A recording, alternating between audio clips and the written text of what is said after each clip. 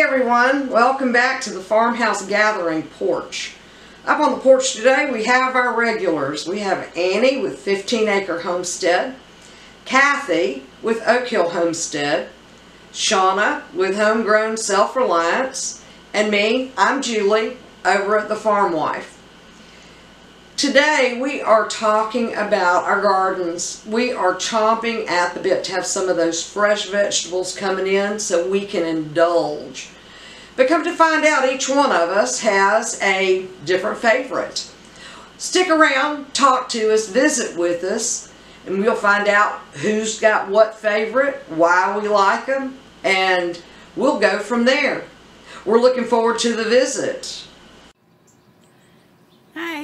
I'm Annie from 15 Acre and today we're talking about our favorite things to grow in the garden. Um, mine happen to be herbs and when I say herbs I mean any kind of herbs. Um, I think the reason for it is because you can grow them inside, you can grow them outside, it doesn't matter. Um, they're easy to grow, you can grow them in water, you can grow them in your yard, you can grow them in containers. They're just a really versatile uh, plant to grow. Uh, with me living in the city right now, I'm kind of limited to what I can grow because obviously I'm not where I'm going to be living permanently. So I didn't want to start, you know, like a huge herb garden or a really big vegetable garden um, in the high hopes that I'll find a place uh, of my own soon and I want to take my plants with me. So I'm going to take you on a really short video tour uh, of the herbs that I bought that are up on the porch. Um, I put them in pots and hanging baskets. Um, and I've done so because my grandchildren love fresh herbs and they tend to pick all the leaves off. So I've done them all in hanging baskets, um, very few in pots. Rosemary they don't like, so that's in a pot. Um, but I also do like to grow vegetables, and I'll show you some of those as well. Uh, if I was on the farm and had my 15 acres or even a large enough spot to grow vegetables in, I would probably do a lot more, but currently with my situation, my favorite thing is herbs. I can grow them anywhere in any climate at any time of the year. Uh, and they're so, like I said, they're so versatile. So I'm going to go ahead and take you on a tour of uh, the herbs that I bought to grow for right now and some of the vegetables. I'll share those videos next. And then um, we'll go ahead and check out what Kathi and Shawna like to grow on their homesteads. All right, have a good day. Bye. So these are the herbs that I was telling you about. Um, I got lemon verbena. I've got two of them. One's there and one's back there. I've got rosemary. I have this red Rubin basil and sweet basil. I have this other hanging basket of peppermint. I've got two pots of those in there. This is my dill, one of them. I've got marjoram, which I've never grown before, but we're going to try it. Back here, let me see if I can bring it out here for you. Um, this is the uh, basil, the Thai Queen, it's called. Uh, and I've also got a cinnamon basil in the front here. This is cilantro and dill in that pot. Two types of cilantro and dill. Um, these are the normal herbs that I grow. I'm sorry about the shaky camera, but uh, I put them in pots because my grandchildren love the taste of herbs, especially cilantro. So um, those are the herbs that I bought, and uh, I'll show you the vegetables here in just a minute. Okay, so the vegetables that we have that we're going to start are some burpless uh, cucumbers, some Hungarian hot wax peppers. I've got some elite zucchini in the back, some hot peppers, as you see back here. I got two tomato plants, an okra, and some long, thin cayenne peppers. Um, these are pretty much all the vegetables that we're going to put in. Um, they're going to go over here. I started making a spot that we're going to dig out in front of this this uh, bush right here. So this is going to be our vegetable garden. Uh, unfortunately, I don't have much of a spot there, so all you get to see is a, a piece of grass, but that's the vegetables that we bought. Hi, I'm Kathi from Oak Hill Homestead, and I'm here this week to talk about my favorite thing to grow in the garden, which in my case is tomatoes. First of all, I wish I could be outside in my garden showing you my tomato plants, but it's raining today. So, you know, the best laid plans of mice and men, and here we are indoors, not looking at the tomato plants. But believe me, they do have little tiny pea-sized green tomato plants, tomatoes on those plants right now, and I'm excited waiting for them impatiently to grow and to ripen. I've loved tomatoes ever since I was a kid. My dad and I grew them in the backyard. I was maybe 10 years old, and he built a little picket fence about a, a, whole foot tall because we had a pet tortoise and we had to keep him out of the tomato plants. And that was all we grew, was tomatoes and nasturtiums. And yes, that's all we grew was tomatoes. Dad loved tomatoes as much as I did, and we'd go outside and weed our little garden at night. He'd even take a salt shaker out with us. Tomatoes very rarely made it into the house. We ate them right out there, and they were so good. So tomatoes are why I began gardening again as an, as an adult. We moved around a lot, so it was years before I was able to grow a garden again. But when I had a place that had a yard, and we knew that we would be there long enough to to grow something and have it actually ripen before we moved again, tomatoes were what I grew. Sun ripened tomatoes right off the vine are absolutely delicious, and they just don't compare to a tomato from the grocery store. Those are actually grown to withstand transportation, not because of flavor. Until just a few years ago, the only kind of tomatoes I grew were red ones. Cherries, cherry tomatoes, slicing or salad tomatoes, beefsteaks, it didn't matter, but they were all red because to me, a green tomato or a purple tomato just wasn't right. Tomatoes should be red. However, I did actually end up growing some small yellow pear, um, yellow pear tomatoes one year. They're about the size of a cherry tomato, but shaped more like a pear. And they were so good. That was my first little foray into something besides red tomatoes. And they were delicious. And from there, I branched out into Cherokee purples, some orange ones, some black cherry tomatoes, uh, snow white cherry tomatoes, and many others. And each year I grow something different, a new variety, because one of the fun things about gardening is trying something different. Gardening is an experiment, just like life is, and mysteries are fun. This year, a friend gave me some tomato plants that she had started from seed. Uh, they're, they're black tomatoes and they're called carbon. I'm very curious to find out how these taste. She says they're delicious, and I'm sure they will be because all tomatoes are good. So far, they're growing well in, in the garden, and I'm really looking forward to those. My favorite, one of my favorites right now, is Snow White. It's a cherry tomato. The name is a bit of a misnomer. They're actually not white, they're pale yellow, but they are very sweet, very delicious, and I really enjoy those.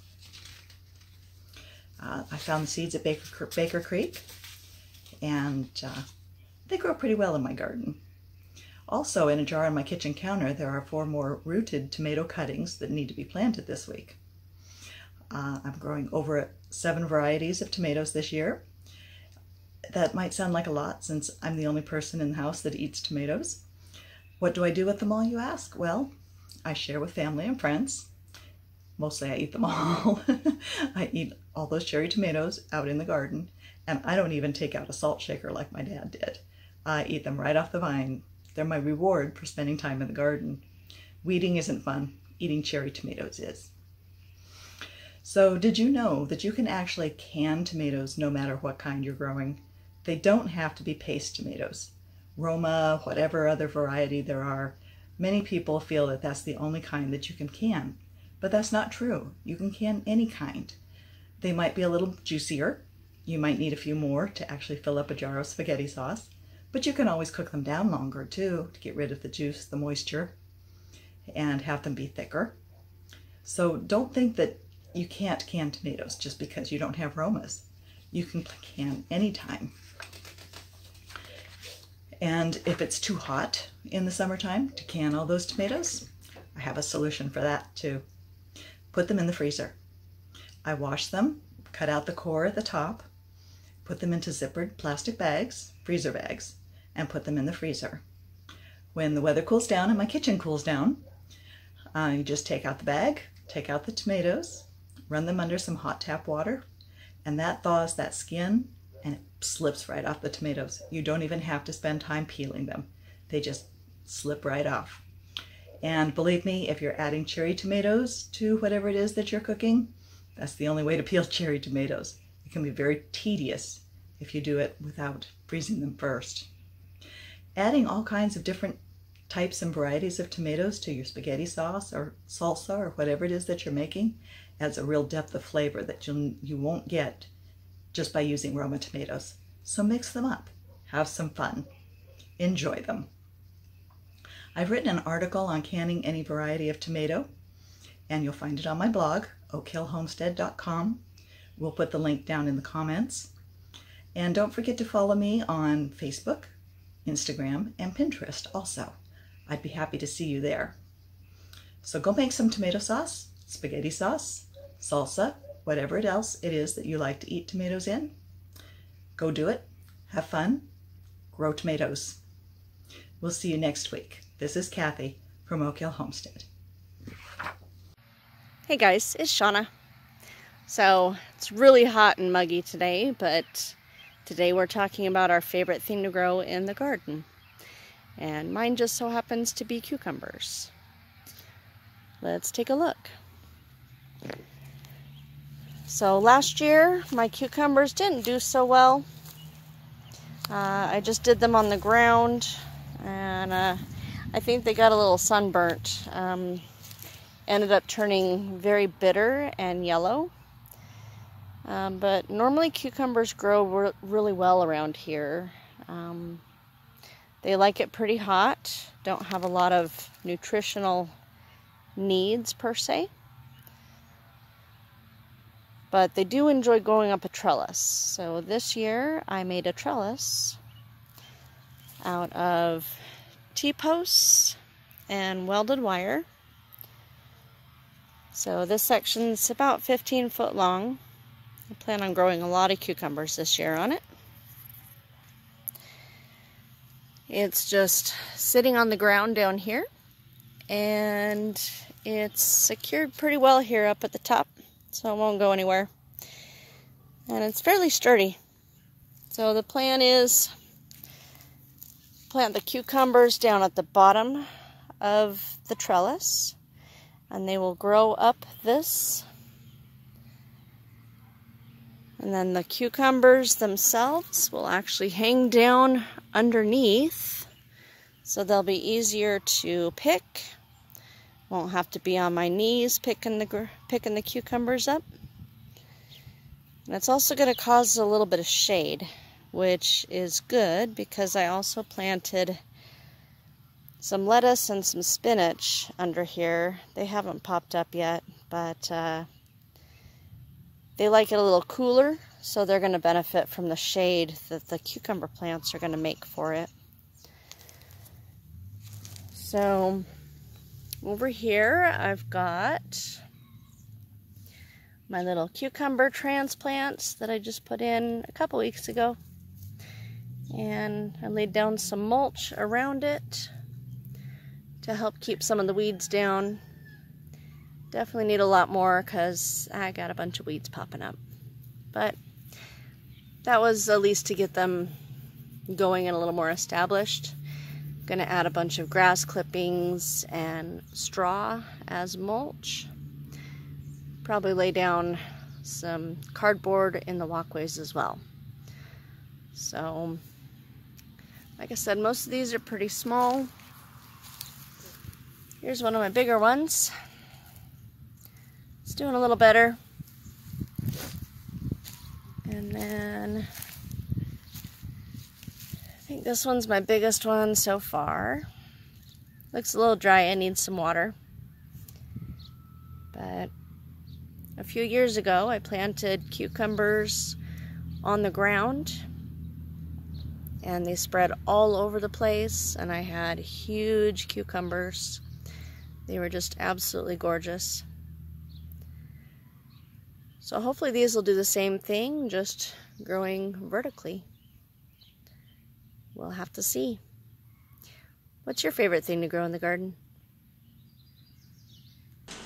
Hey everyone, I'm Julie at the Farm Wife, and I'm going to be quite frank with you. My favorite vegetable of all time is a squash.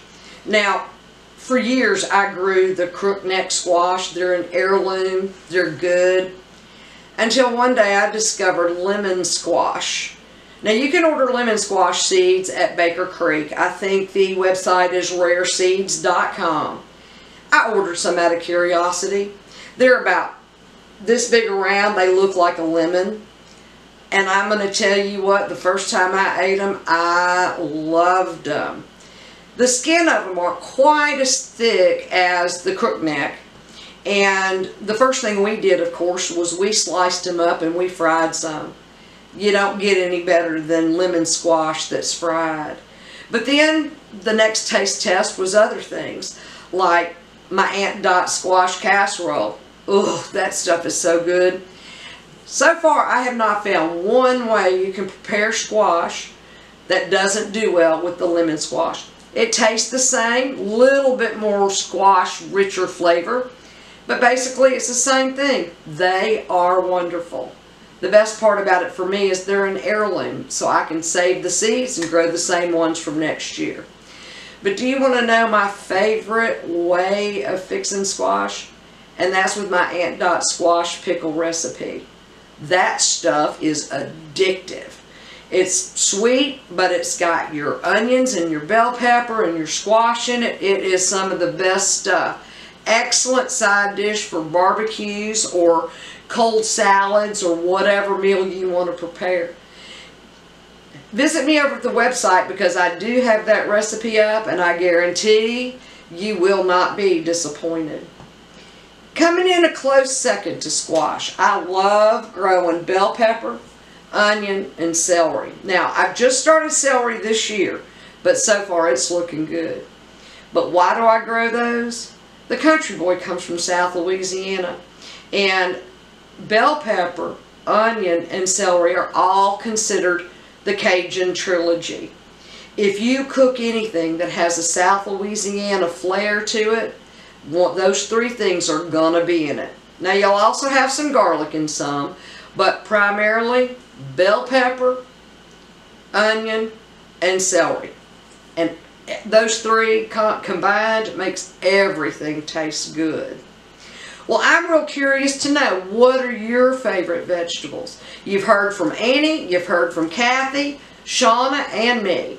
Now we'd really like to hear what your favorite one is and why it is. As always, we are so glad that you stopped by to visit with us on the porch. We look forward to the next visit that we have with you. Make sure you check out the links that we have. That's going to help you with all of the things we've talked about. And be sure to visit our sites. And if you have any questions about most anything that's homemaking, homesteading, simple life related, you just ask one of the four of us. We'll either have the answer or put our heads together on the next porch visit and come up with one for you. Y'all have a great week. We'll see y'all next Friday.